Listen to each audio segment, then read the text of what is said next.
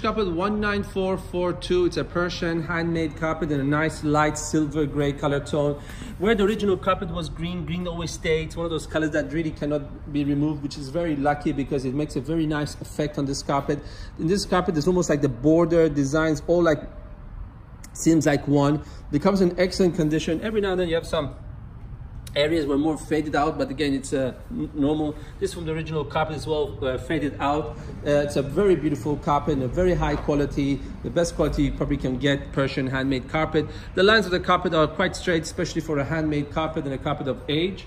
If you have any question about this carpet or any other carpet in our collection feel free to contact us